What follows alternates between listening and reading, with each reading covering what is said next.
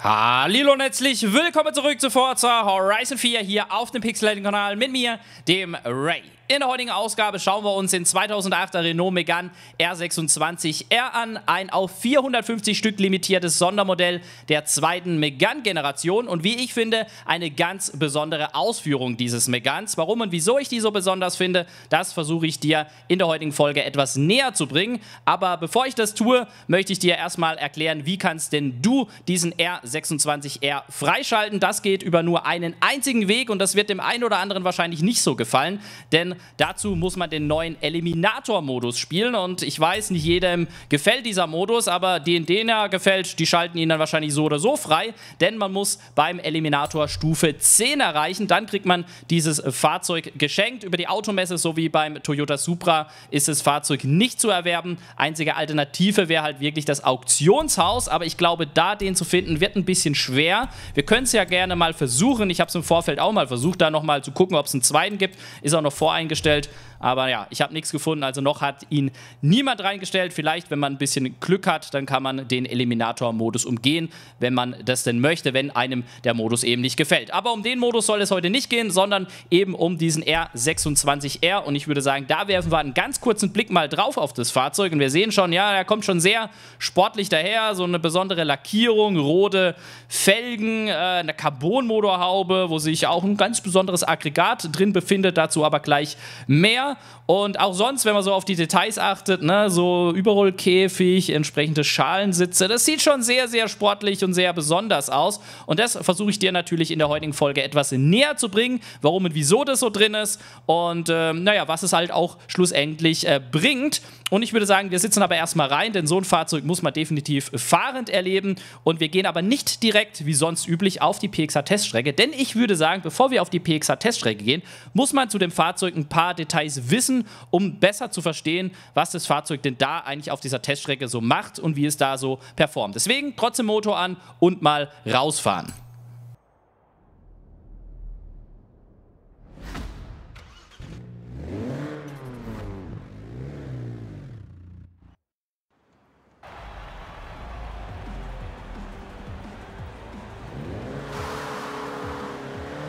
Schon erklärt, es handelt sich hierbei um die zweite Megane-Generation und davon eben ein Sondermodell. Und äh, damals beim Megane gab es auch schon ein Megane RS, welcher eigentlich so die sportlichste Version des Megane war. Also so wie bei der dritten Generation, den wir ja hier im Spiel haben gibt es ja auch einen Megane RS, den 250er. Dann bei der vierten Generation gibt es ja ebenfalls einen äh, Megane RS, den wir jetzt dann auch bald ins Spiel bekommen. Freue ich mich schon sehr drauf. Aber eben auch schon bei der zweiten Generation gab es eben so einen Megane RS. Der hatte einen 2 Liter rein 4-Zylinder Turbomotor mit bis zu 224 PS und 300 Newtonmeter Drehmoment. Das war schon nicht schlecht. Das war so im Jahre 2005, 2006 rum. Also das ist schon ganz ordentlich gewesen für so einen Kompaktsportler. Aber naja, wenn man in das Jahr 2005, 2006 blickt, da ist was ganz Besonderes passiert, gerade für die Marke Renault. Und zwar, wenn wir mal den Blick in die Formel 1 werfen. Da wurde nämlich Fernando Alonso mit Renault Formel 1 Weltmeister und auch Renault selbst wurde Konstrukteursweltmeister im Jahre 2005 und 2006. Und da hat dann Renault gedacht, hm, ja, wir haben jetzt zwar so einen Megane RS, aber wie wäre es, wenn wir da eine Sonderedition machen? Hä? Und dann haben sie das auch getan. Und dann ist nämlich entstanden zur ja, Hommage oder zur Anlehnung oder zum Gedenken an die Titel 2005 und 2006 ist eine auf 150 Stück limitierte Sonderauflage des Megane RS entstanden, die sich dann geschimpft hat Megane Renault Sport F1 Team R26. Warum und wieso R26? Das hat nichts mit dem Motor oder sonst was zu tun, sondern mit dem Fahrzeug aus der Saison 2006. Das war nämlich der Renault R26, der dort in der Formel 1 eingesetzt wurde und auch Weltmeister wurde. Und das Besondere an dieser Sonderedition war, ja, nochmal der Hinweis, wir sind nicht bei der Sonderedition. Warum erzähle ich dir was über eine andere Sonderedition? Das hat was mit dem hier zu tun. Wir werden gleich drauf kommen. Ich würde sagen, wir starten erstmal so ein kleines Rennen währenddessen, wo ich mich jetzt wahrscheinlich ein bisschen blamieren werde, weil ich mich ein bisschen konzentrieren möchte, was ich dir erzähle. Denn ich habe ziemlich viel Fakten vorbereitet, aber glaub mir, die haben es in sich. Also, wir sind immer noch beim Megane Renault Sport F1 Team R26. Was für ein Name. Was für ein Fahrzeug. Wir haben dort ebenfalls einen 2 Liter rein 4-Zylinder Turbomotor, genauer gesagt ein Twin Scroll Turbomotor, also ein Turbolader mit zwei Abgaskanälen, wenn man es genau nimmt.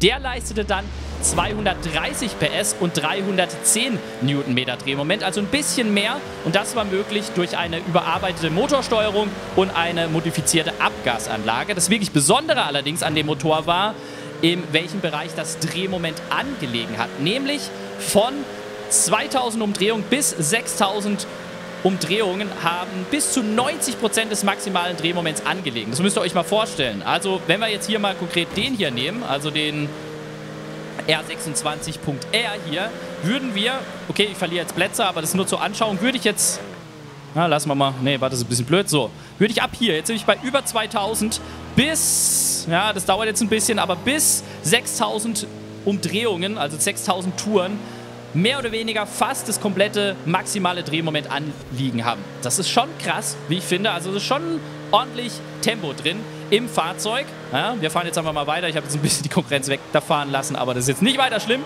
Ähm, des Weiteren wurde aber trotzdem noch ein bisschen mehr gemacht bei diesem Sport F1 Team R26. Ja, wir sind immer noch nicht bei dem hier, aber das hat alles seinen Grund. Ich wiederhole mich da nochmal. Des Weiteren wurde nämlich das Fahrwerk komplett überarbeitet und sportlicher gemacht. Was da unter anderem verändert wurde, naja, es gab neue Stoßdämpfer, es gab straffere Federraden vorne, eine verkürzte Federwege hinten, es gab einen verbesserten Frontstabi, es gab optimiertes und größere dimensioniertes Radlager und Radachsen hinten und das Ganze hat es natürlich komplett noch natürlich viel sportlicher schon mal dastehen lassen. Also jeder, der diese Begriffe ein bisschen was sagen und was da gemacht wurde, gerade bei einem Frontkratzer, ja, wir haben Frontantrieb, ähm, das ist schon ordentlich, das ist schon nicht schlecht. Des Weiteren gab es ein Sperrdifferential vorne, 18 Zoll Leichtmetallräder und jetzt kommt der Oberhammer für so ein Fahrzeug. Es gab eine Bremsscheibe vorne, eine neue, mit 312 mm Durchmesser. Dazu eine 4-Kolben-Bremsanlage von Brembo. Und hinten gab es eine 300 mm Durchmesser Bremsscheibe. Also richtig ordentlich, ja, was da dann verbaut wurde. Und das Ganze natürlich kombiniert kann natürlich nur einem Zweck dienen. Das sollte ein Megane RS oder ein Megane sein, der einfach auf der Rennstrecke funktioniert, der einfach sportlich ist wie sonst was. Und das einfach ja, als Hommage, als Anlehnung als Erinnerung an die 2005 und 2006 gewonnene Formel 1 Weltmeisterschaft. Mega cool, mega geil, absolut. Und jetzt fragst du dich, ja, das klingt doch alles cool, aber warum haben wir jetzt den hier ins Spiel bekommen? Naja, Renault war das nicht genug. Wir haben gedacht, ein paar Jahre später, ah, wir könnten doch viel mehr da noch rausholen aus der Kiste, oder? Genau. Und deswegen ist der hier entstanden, ja? Das war alles nicht genug. Dann ist der Renault Megane R26.R. Ja, also wenn man schon mal den R26 nimmt von gerade eben und dann nochmal Punkt R hinten dran haut, was könnte das bedeuten? Richtig, nochmal mehr für die Rennstrecke. Und zwar insgesamt kann man schon mal sagen, dass dieses Fahrzeug viel, viel auf, naja, nicht nur Rennstreckenperformance Wert gelegt wurde, sondern auch, ja, was macht man, wenn man auf die Rennstrecke geht? Erstmal unnötiges Gewicht rauswerfen. Und ich glaube, das sieht man dem Fahrzeug auch so ein bisschen schon an. Da wurde richtig viel Gewicht gespart. Konkret im Vergleich zu dieser F1-Edition 123 Kilogramm weniger. Das ist mega. Und wie ist es möglich? Naja, zu einem durch diese Carbon-Motorhaube, die wir schon gesehen haben, zu einem, weil wir keine Rückbank mehr hinten drin haben. Wir, ja, oder es wurde auf die meisten Airbags verzichtet. Also der Beifahrer, sorry, du hast kein Airbag mehr. Es gibt auch keine Seitenairbags. Es gibt eigentlich nur den einen Front-Airbag für den Fahrer. Es gibt keinen Heckscheibenwischer. Ja, es gibt keine Nebelscheinwerfer. Ja, das sind nur so irgendwelche Plastikabdeckungen da unten drin. Ähm, es gibt keine Scheinwerfer-Waschanlagen. Also vorne, dass er so die Waschanlage vorne rausspritzt oder so. Gibt es nicht mehr. Haben sie auch rausgenommen. Die meiste, das meiste an der Lärmschutzdämmung wurde entfernt. Ja, also wir hören da in, einfach immer noch den vollen Motor. Sollte so sein. Und es gibt, naja, immerhin noch eine optionale Klimaanlage. Aber eigentlich ist sie auch rausgeflogen. So wurden ordentlich Gewicht gespart. Konkret sprechen wir hier von knapp 1,3 Tonnen Gewicht. Ja, der F1 hatte normal so über 1,4 Tonnen. Und das ist natürlich schon ordentlich. Aber da nun damit noch nicht das Ende. Ja? Also das alles, was ich euch zum F1 erzählt habe, ist hier auch drin. Ja? Der basiert auf dem. Aber er ist krasser. Und das ist das Tolle. Also, was wurde noch gemacht? Natürlich das Fahrwerk nochmals verbessert, speziell für die Rennstrecke angepasst. Wir haben einen etwas größeren Heckspoiler, das hatte die F1-Edition auch nicht. Wir haben Sportsitze, ne, auch Carbon-Schalensitze wohlgemerkt, mit 6-Punkt-Gurten. Wir haben einen Überrollkäfig, der allerdings optional war. Wir haben aber diese optionale Geschichte hier.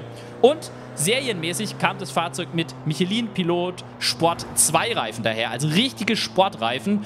Und tatsächlich im Spiel haben wir hier auch Sportreifen direkt schon am Start, was das Fahrzeug in der, wenn wir oben hingucken, in der A704-Klasse unmenschlich viel Grip gibt. Einfach in der Serie schon. Also griptechnisch muss man hier wirklich nichts mehr machen. Ja, das alles gepaart lässt das Fahrzeug von 0 auf 100 in 6 Sekunden beschleunigen. Probieren wir mal aus, auch wenn die Straße hier leicht abschüssig ist und vielleicht aber auch ein bisschen feucht. Gucken wir mal. 6 Sekunden, gucken wir mal.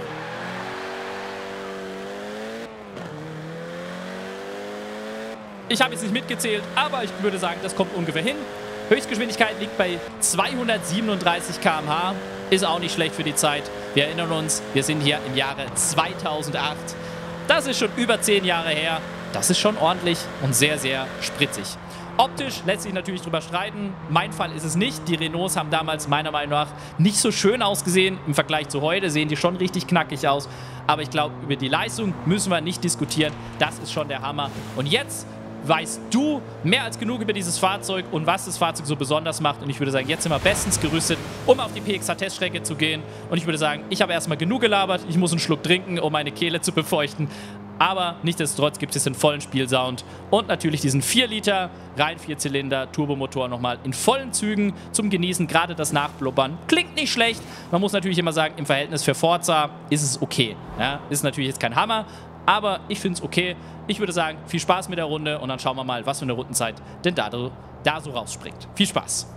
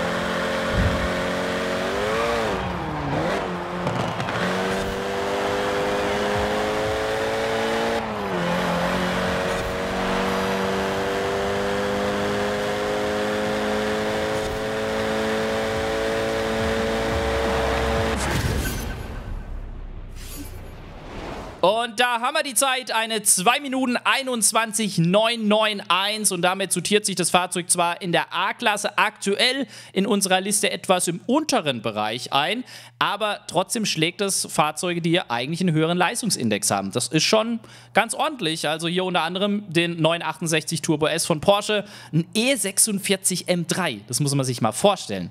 Das ist schon krass. Also ist natürlich fast zeitgleich und ich sage ja immer, so fünf Zehntel muss man immer Toleranz einberechnen, aber das ist trotzdem krass, ne?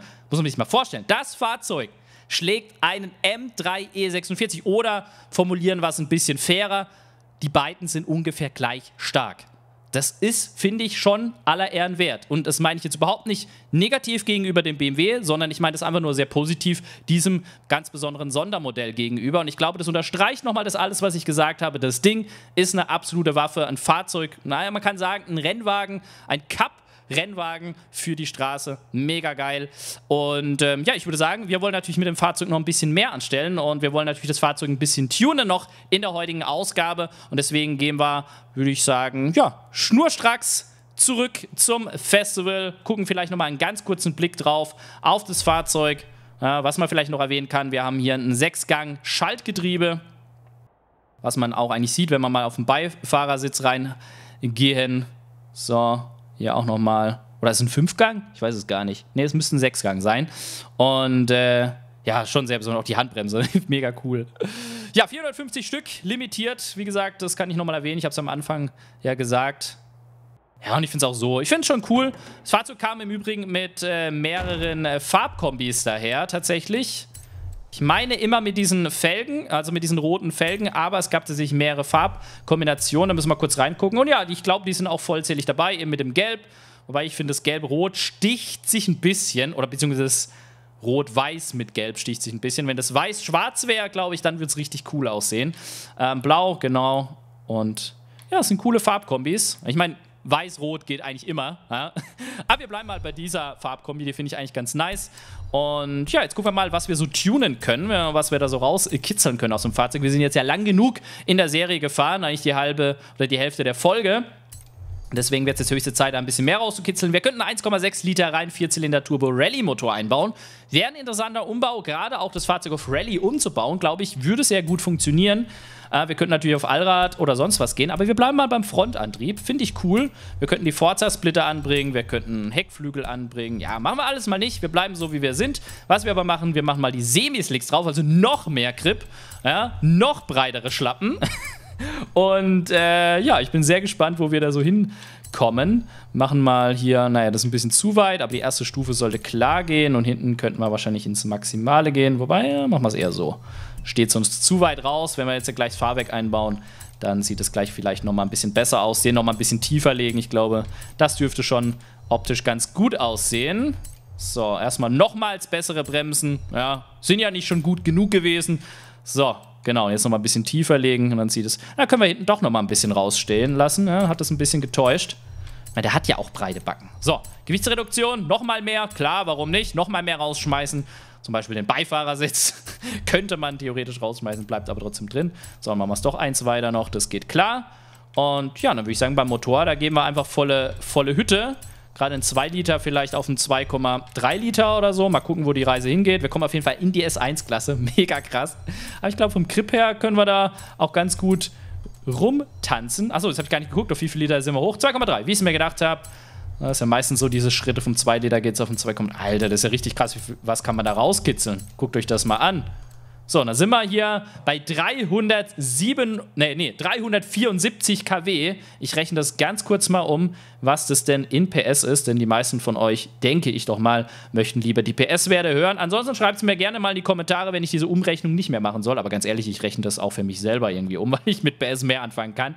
Das sind dann 500 ja, 508,498. Also, ja, fast hätten wir aufrunden können. Also sagen wir mal 508 PS, 609 Newtonmeter Drehmoment und wir haben immer noch einen Frontkratzer. Und ich bin mal sehr gespannt, ob wir damit trotzdem ganz gut fahren können. Ich hoffe es mal. Es wäre auf jeden Fall mal ein interessantes Projekt so ein Power-Frontkratzer. Habe ich sowieso mal vor als Projekt, vielleicht auch mal als PXH Edition umzusetzen. Nicht, dass ich jetzt irgendwas versprechen möchte, aber so für mich hätte ich schon mal Bock, sowas zu machen. Einfach mal den Frontantrieb auch ein bisschen mehr zu zelebrieren hier im Spiel, weil man hat immer Heck oder Allrad, meistens Allrad. Aber mit Front ist doch auch mal eine coole Geschichte. Ja, klar hat man ein bisschen durchdrehende Räder am Anfang.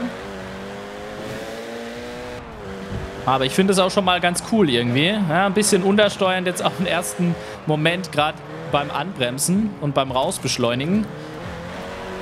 Da könnte man vielleicht überlegen, sogar beim Diff ein bisschen rumzuspielen, dass man vielleicht sagt, wir sperren na, mal nur 30%. Das sollte eigentlich erstmal reichen. Beim Rest würde ich erstmal jetzt nicht groß, ja, vielleicht nicht ganz so viel Sturz, vielleicht gerade vorne nicht so, weil, naja, brauchen wir eigentlich nicht so. Vielleicht hier eher sogar hinten etwas machen.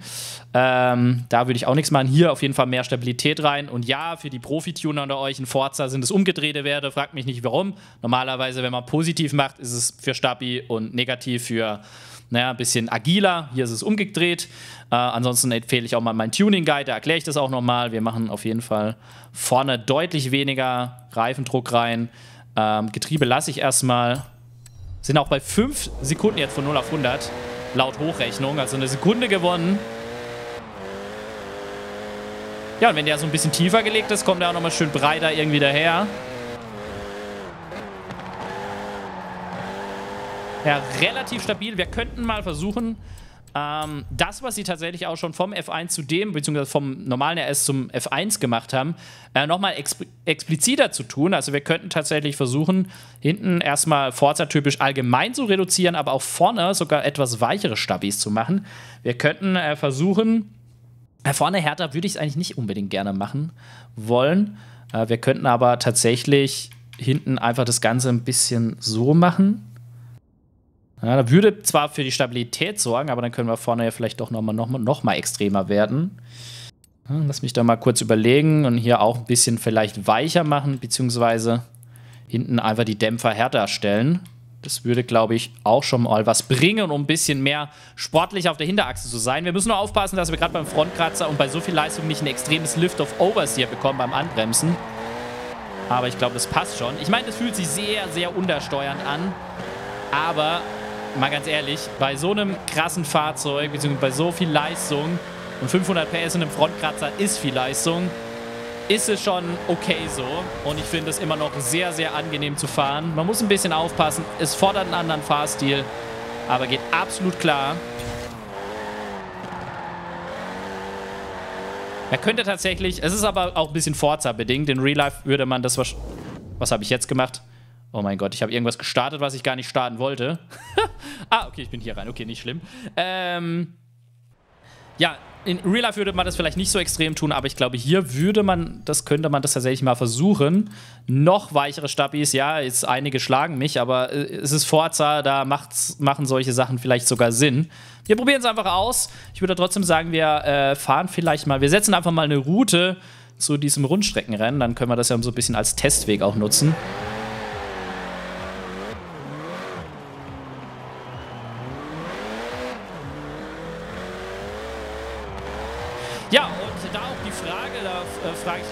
Feedback, wenn nicht sowieso du schon geschrieben hast in die Kommentare, wie du es findest. Ich habe heute mal bewusst nicht direkt die Teststrecke aufgesucht, sondern ich habe bewusst mal, gerade weil es ein bisschen was zum Fahrzeug zu erzählen gab, erstmal die ganzen Daten rausgehauen. Währenddessen sind wir ja trotzdem ein bisschen gefahren, auch ein kleines Rennen haben wir gemacht. Okay, ich habe es ein bisschen verkackt. Nein, ich will jetzt nicht über einen Schotter fahren, aber egal. Ähm, ja, wie du das findest, dass wir auch mal so, so vorher ein bisschen Geplänkel machen und dann die Teststrecke aufsuchen und dann eben tunen. Oder sagst du, nee, lieber erst auf die Teststrecke gucken, wo die Rundenzeit ist, während der Teststreckenrunde vielleicht ein bisschen was erzählen äh, und dann, was noch fehlt, halt danach ergänzen. Ähm, ja, sag's einfach mal, wie du das findest. Äh, nicht, dass ich das immer so machen möchte, aber so ein bisschen halt einfach mal eine Abwechslung. Dass es nicht immer nach Schema F abläuft in den Folgen, sondern mal so, mal so ist. Mal die Teststreckenrunde vielleicht am Anfang, mal mittendrin, vielleicht sogar auch manchmal am Ende. Ja, so wie es halt gerade vielleicht auch zum Fahrzeug so ein bisschen reinpasst. Da mal gerne Feedback geben, wie du das jetzt heute fandest. Dass ich jetzt am Anfang ein bisschen mehr zu diesem Fahrzeug erzählt habe, bevor wir eben auf diese Runde gingen. Äh, das war jetzt ein bisschen blöd, ich hätte einfach links fahren müssen. Ja, man merkt halt extrem diese, diese, diese Unter, dieses Untersteuern beim Anbremsen. Vielleicht sollten wir da über, den, über die Bremsverteilung, auch hier umgedrehte Werte im Übrigen, sollten wir vielleicht mal versuchen, etwas nach vorne, äh, nach hinten zu legen. Also mehr ist, das ist so kompliziert. Eigentlich ist ein höherer Wert mehr nach vorne, aber hier ist es umgekehrt. Warum auch immer. Also wenn wir jetzt hier erhöhen, dann machen wir mehr Bremsdruck nach hinten oder die Verteilung mehr nach hinten. Ich würde sagen, wir machen mal mehr nach hinten, um das Untersteuern zu reduzieren. Mal gucken, ob das gelingt. Normalerweise macht man mehr nach vorn, um mehr Stabilität auf der Bremse hinzukriegen, aber ich weiß nicht, ich habe irgendwie nicht das Gefühl, dass wir hier so ein extremes lift of overs hier haben.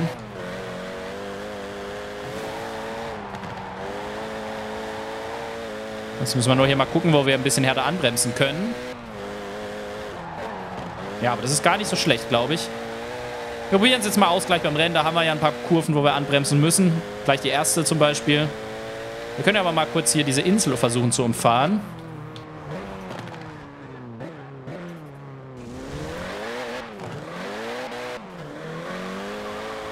Ja, das geht schon klar, würde ich sagen. Ich würde sagen, das geht klar. So. Dann gucken wir doch mal, wie wir hier gegen die anderen Super Hot Hatches so ankommen. Gerade gegen die Allrad Hot Hatches bin ich sehr gespannt.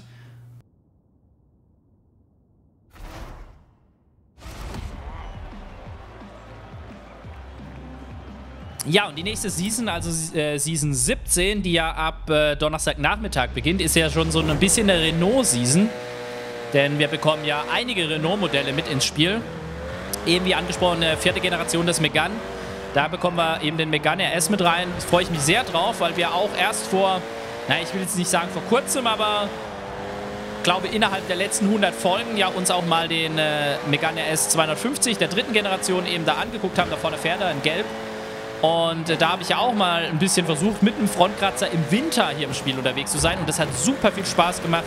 Ein super cooles Fahrzeug, hier dieses hier. Und eben den Nachfolger davon, den bekommen wir eben nächsten Monat mit rein. Dann kriegen wir den äh, Alpine, den neuen, mit dazu. Der läuft ja nicht mehr unter Renault, das ist jetzt eine eigene Marke Alpine.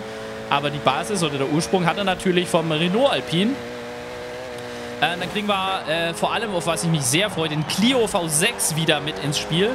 Also die Rückkehr von alten Forza-Teilen zurück. Sehr geiles Fahrzeug. Mittelmotor V6 in einem Clio. Mega krasses Fahrzeug. Ähm, wir kriegen den äh, Clio Konzept mit rein und ja, noch ein paar. Also wirklich, wirklich cool. Es wird ein richtiger Renault-Monat. Ich weiß, der eine oder andere kann damit vielleicht nichts anfangen. Aber glaub mir, diese kleinen Kompaktler von Renault, gerade Renault Sportabteilung, die sind schon cool. Die machen schon immer Spaß zu fahren. Ist mal was anderes. Aber ich freue mich drauf. Also das könnte schon ganz, ganz coole Season werden. Also nicht gleich abschreiben und sagen, oh, ist das scheiße. Ja, ich glaube, das könnte schon ganz cool werden. Und wer weiß, vielleicht, vielleicht, vielleicht eröffnet das ja die Wege für manch andere kleine Sportwegelchen, nenne ich es jetzt einfach mal. Gerade so mal, na, Seat würden viele, glaube ich, von euch gerne sehen. So ein Seat Leon Cupra oder so wäre schon cool, ne? Also Vielleicht auch mal andere Modelle. Vielleicht mal auch gleich der neue Golf oder so mit rein. Aber ja, mal gucken. Mal gucken, mal gucken, was sich da in der Kompaktsportklasse noch so tut. Überhaupt in der Kompaktklasse.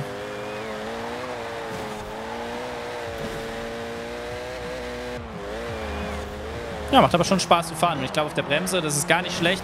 Wie gesagt, ist kein Vergleich zu einem Hinterradantrieb, ist kein Vergleich zu ja, manch anderen Fahrzeugen. Ist immer noch sehr untersteuern vom Gefühl. Aber ey, das kann man super gut einkalkulieren. Und ihr seht ja, man kann hier super, super gut auch gegen die vermeintlichen Allradbestien ganz gut bestehen. Und das auf so einer kurvigen Strecke wie die hier.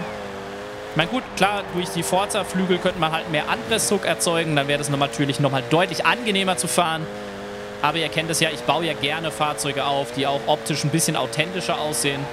Ähm, ich meine, diese Allradumbauten und Forza-Flügel drauf, ich will nicht sagen, das kann jeder. Ich meine, auch da gehört ein bisschen Können dazu beim Tuning. Aber ich finde, wenn man es doch schafft, so Fahrzeuge aufzubauen, die trotzdem sich ganz gut fahren lassen, dann ist das auf jeden Fall auch irgendwo eine Kunst. Und ich finde es auch immer wieder spannend, sich selber diesem, dieser Herausforderung zu setzen, mal sowas auszuprobieren. Natürlich brauchen wir nicht darüber diskutieren. Allradumbau, Forza, Flügel und so weiter drauf ist schneller. Die Fahrzeuge sind besser. Das will ich gar nicht bestreiten. Aber im Rahmen dessen, dass ich das eben nicht tue, finde ich, äh, ist das immer eine ganz coole Challenge. So, wir haben noch ein bisschen Zeit. Ich würde sagen, wir machen nochmal vielleicht ein kleines Rennen. Vielleicht dieser, dieser Sprinter über den Berg. Ich würde sagen, das können wir auf jeden Fall noch machen. Zum Schluss der Folge. Dann sind wir nämlich schon wieder am Ende. Viele Infos, viel Input. Wahrscheinlich die Hälfte konnte man sich gar nicht merken. Aber ich empfehle da einfach mal, sich ein bisschen vielleicht selber schlau zu machen über das Modell. Ähm, Habe ich auch nicht anders gemacht, ähm, weil ich selber auch, ich wusste zwar, dass es den gibt, aber was jetzt genau da der, der Unterschied ist zwischen Megane RS und eben mit der F1-Edition, mit dem hier, das wusste ich auch nicht. Das habe ich auch nachrecherchiert, um es dir dann zu präsentieren. Da gibt es ganz, ganz viele tolle Berichte von ganz vielen Fachmagazinen, die dann darüber ein bisschen berichtet haben. Und ähm, ja, auch über die Nordschleife ist das Fahrzeug tatsächlich gefahren. Die Zeit habe ich mir jetzt nicht notiert, aber ich glaube, es war eine 8 Minuten 14 oder sowas. Äh, bin ich mir aber selber nicht mehr so ganz sicher. Natürlich in der Spezifikation, wie ich den jetzt aufgebaut habe, würde er wahrscheinlich die 8 Minuten easy peasy schlagen. Einfach aufgrund dieser Mehrleistung.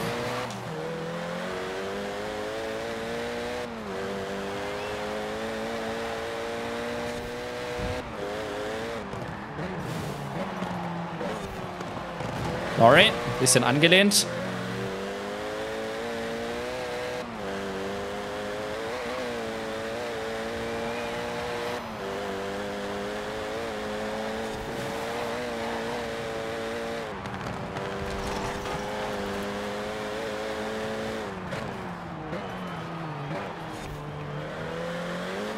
Bedenkt, wie klein der Megane jetzt hier ist, wenn man das gerade verglichen hat mit dem Astra der ein paar Jahre später ja dann rauskam. Auch nicht so viele Jahre später wie der hier, aber doch ein paar Jährchen.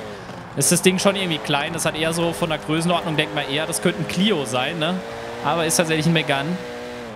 Ich meine, von der Generation, muss ich auch ehrlich sagen, sind mir die Megans weniger als kompakter, kompakter Sportler in Erinnerung geblieben, sondern eher äh, diese, diese Limo-Varianten vom Megane. Gab es ja eben auch als äh, Stufenheck-Limo und so weiter. Und davon, glaube ich, hat man auch relativ viel auf den Straßen gesehen oder sieht sogar zum Teil immer noch von der Generation. So richtig aufgefallen ist mir der Megane selbst oder bewusst geworden, erst tatsächlich mit der dritten Generation, wo dann eben der RS rauskam, eben den gelben, den wir gerade vorher gesehen haben.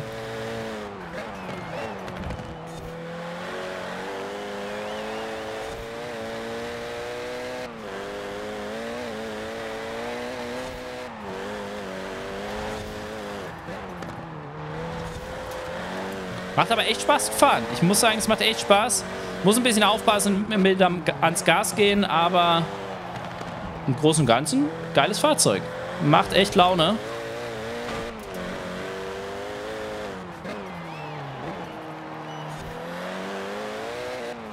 Ja, ich hoffe, du hattest auch viel Spaß mit dieser Folge, hast ein bisschen was mitnehmen können, hast vielleicht jetzt ein klein wenig ein anderes Bild zu diesem Fahrzeug, wo du sagst, ja, ich dachte, das ist irgendwie ein Scheißding, aber hey, ist ja eigentlich ganz geil, klingt ganz interessant, muss ich doch vielleicht mal ausprobieren. Ja, dann habe ich, glaube ich, meine Mission vielleicht ein bisschen erfüllt. Und äh, wenn dir die Folge so oder so gefallen hat, dann lass sehr, sehr gerne ein Däumchen nach oben. Das würde mich sehr freuen. Ich würde mich aber auch genauso freuen, wenn du in der nächsten Ausgabe von Forza Horizon hier auf dem Pixelaten-Kanal wieder mit dabei bist. Ich bin nämlich jetzt an dieser Stelle raus und bedanke mich fürs Einschalten. Wir sehen uns hoffentlich in der nächsten Folge wieder. Mach's gut, bis dann. Ciao!